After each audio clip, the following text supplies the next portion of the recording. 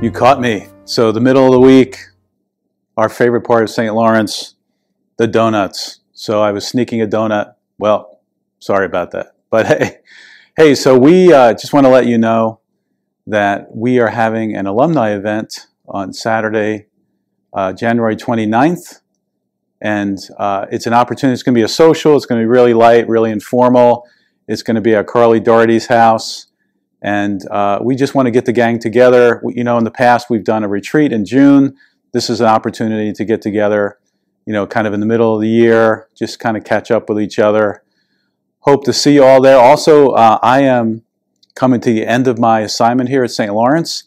Believe it or not, I've been here for nine years. Some of you probably wish it was less than that, but uh, but love to see a whole bunch of you. I'm literally the next day, January 30th. I'm leaving to go to Orlando yes, somebody has to sacrifice and suffer in, in, the great warmth of Orlando.